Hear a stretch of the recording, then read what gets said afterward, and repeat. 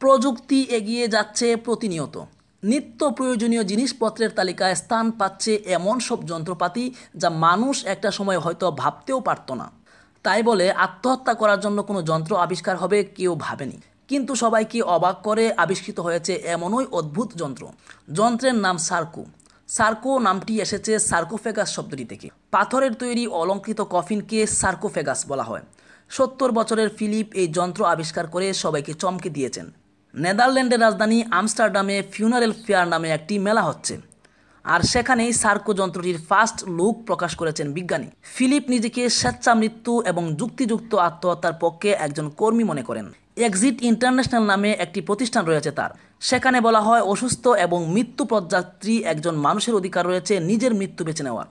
তিনি মনে করেন স্বেচ্ছা মৃত্যু এবং আত্মহত্যা দুটোই মানুষের অধিকার। এ কারণেই সার্কো তৈরি করেছেন তিনি। ভিউয়ার্স, আমাদের চ্যানেলে নিত্য নতুন আপডেট পেতে সাবস্ক্রাইবার লেখার উপর ও বেল বাটনে চাপ দিন।